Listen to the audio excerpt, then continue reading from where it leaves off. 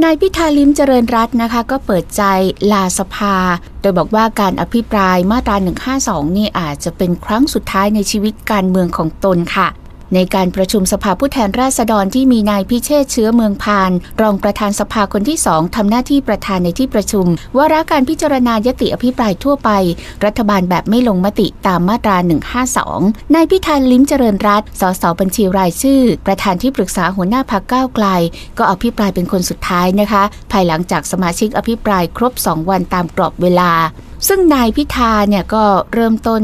ด้วยการพูดถึงความในใจเล็กน้อยว่าตลอด 7 เดือนที่ผ่านมานั้น ตนไม่เคยเสียใจเลยที่ไม่ได้เป็นพวกที่บริหาร ถึงแม้ตนจะชนะการเลือกตั้ง สามารถรวบรวมเสียงได้ 312 เสียง ไม่เสียใจเลยที่ได้มาเป็นฝ่ายค้าน เพราะตนเชื่อว่าฝ่ายค้านนั้นมีความสำคัญต่อระบอบประชาธิปไตย การเป็นฝ่ายค้านก็สามารถทำงาน ให้พี่น้องประชาชนได้ สุขภาพของประชาธิปไตยไม่ได้วัดอยู่ที่รัฐบาลนั้นมีอำนาจเบ็ดเสร็จแค่ไหน แต่อยู่ที่ฝ่ายค้านว่าจะ active แค่ไหนนายพิธาบอกว่าผมไม่เคยเสียใจด้วยว่า ในการอภิปรายในครั้งนี้อาจจะเป็นครั้งสุดท้ายในชีวิตการเมืองของผม ก็ไม่ใช่เป็นเรื่องความลับอะไร ทุกคนทราบดีอยู่ว่าชีวิตทางการเมืองของผมตอนนี้แขวนอยู่บนเส้นด้าย แต่ผมพร้อมที่จะเดินจากไปอย่างผู้ชนะ ไม่มีอะไรติดค้างในใจต่อไป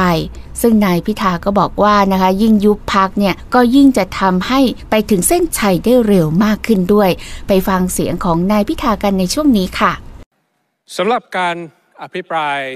มาตรา 152 ในครั้งนี้ ผมคงต้องขอเริ่มต้นด้วยการพูดถึงความในใจสักเล็กน้อย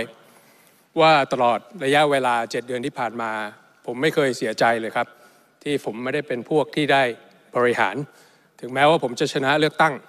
สามารถที่จะรวบรวมเสียงได้ 312 เสียง ก็ไม่ได้น้อยกว่า 314 เสียงที่ท่านมี ไม่เคยเสียใจด้วยที่ต้องมาเป็นฝ่ายค้าน เพราะผมก็เชื่อว่าการเป็นฝ่ายค้านนั้นก็มีความสำคัญต่อระบบประชาธิปไตย การเป็นฝ่ายค้านก็สามารถทำงานให้กับพี่น้องประชาชนได้ สุขภาพของประชาธิปไตยไม่ได้วัดอยู่ที่ว่ารัฐบาลนั้นมีอำนาจเบ็ดเสร็จแค่ไหน แต่อยู่ที่ว่าฝ่ายค้านนั้นแอคทีฟแค่ไหน และทำงานให้กับประชาชนมากน้อยได้เพียงไร แล้วก็ไม่เคยเสียใจด้วยครับ ว่าการอภิปรายในครั้งนี้ อภิปราย 152 ครั้งนี้อาจจะเป็นครั้งสุดท้ายในชีวิตการเมืองผม ก็ไม่ใช่เป็นเรื่องที่เป็นความลับอะไร ทุกคนก็ทราบดีอยู่ว่าชีวิตทางการเมืองคนผม ตอนนี้ก็แขวนอยู่บนเส้นได้ แต่ผมพร้อมที่จะเดินจากไปอย่างผู้ชนะครับ ไม่ได้มีอะไรติดค้างใจอีกต่อไป ยิ่งในการเห็นการที่เพื่อนสสที่อยู่รอบร้อมผม ไม่ว่าจะเป็นรุ่นหนึ่งหรือรุ่นสองในการอภิปรายในสองสามวันที่ผ่านมา ผมก็รู้สึกเบาใจไม่มีอะไรที่จะต้องค้างคาอีกต่อไป แล้วก็มั่นใจว่าสิ่งที่จะเกิดขึ้นกับพรรคของผม ไม่ว่าจะเป็นการยุบพรรคไม่ว่าจะเป็นการทำลายพรรคก้าวไกล ก็ไม่ได้ทำให้การเดินทางสู่การเปลี่ยนแปลงของประเทศไทยของเรานั้น หายลงไป เพอๆยิ่งยุบพักจะยิ่งทำให้พวกเราไปถึงเส้นชัยที่เราต้องการจะทำได้เร็วมากขึ้นด้วยซ้ำไป ถึงผมจะไม่เสียใจ แต่ผมเสียดายครับท่านประธาน ยิ่งได้ฟังการชี้แจงของคอรมอการฟังชี้แจงของรัฐบาล ในช่วงสองวันที่ผ่านมา ผมรู้สึกเสียดายโอกาสของประเทศไทย ผมเสียดายเวลาที่ประเทศไทยที่ต้องเสียไป ผมเสียดายถึงศรัทธาของพี่น้องประชาชน ผมเสียดายส่วนตัวของผมเองที่ผมเคยเป็นคนที่ให้คะแนนกับพรรคจัดตั้งรัฐบาลตั้งแต่ปี 2543 ตั้งแต่ยังเป็นอดีตพรรคผมจำได้ 2543 ท่านส่งผู้ว่ากรทม ตั้งแต่ผมจำความได้ไม่เคยโหวตพรรคอื่นนอกจากพรรคท่าน